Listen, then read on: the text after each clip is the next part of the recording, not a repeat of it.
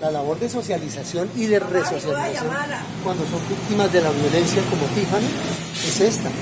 Se les enseña a convivir en sana paz con los perritos de todas las razas. Aunque ella ya no tiene una piernita, es una chica normal, feliz, como nosotros. Felices y agradecidos con Dios por darnos la oportunidad de salvarle la vida a Tiffany y que ella pueda compartir ahora con Milagros. Milagros es la psiquiatra de la fundación, la clínica.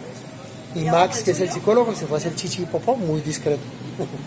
Así que esta reina hermosa, víctima de la violencia, víctima de la violencia, ya está resocializada, lista para su nuevo hogar en Zipaquirá, Cundinamarca.